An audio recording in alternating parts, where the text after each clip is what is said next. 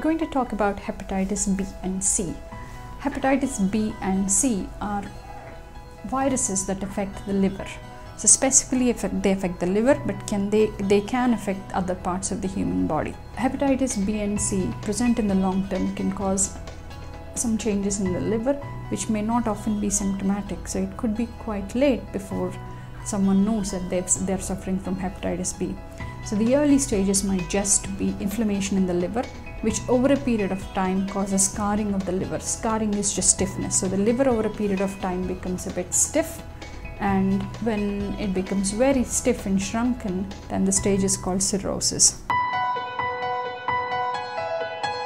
Fortunately, for both hepatitis B and C, even in the very advanced stages of liver disease, uh, the disease could be reversible. So, even at the cirrhosis stage, uh, if we institute the right treatment, this could be reversible. So, that is the beauty of the liver. It has the capacity to regrow so that it undoes the damage. 70% of the liver is damaged, and there is only 30% of the functioning liver that can regrow itself if we remove the uh, irritating agent. It could be a virus, it could be something else. If we remove that agent, and the 30% of the liver can assume the normal function of 100% liver.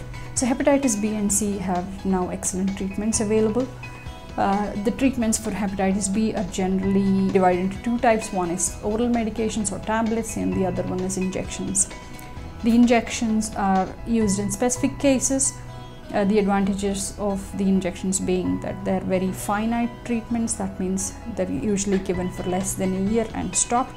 Uh, but tablet medications may need to be continued long term depending on the condition. Hepatitis C treatment is now extremely well tolerated. It's purely tablets and it's often one tablet a day and for a very short period of time. So it is a very good idea for whenever someone has a health check to undergo routine testing for hepatitis B and C.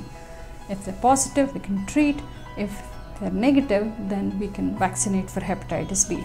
So, in my view, everyone has to be vaccinated against hepatitis B because it is a very preventable condition because of this very nice vaccine available. So, everyone should get tested, and if positive, obviously be seen by a doctor to see if they merit any treatment, and if negative, uh, to be vaccinated.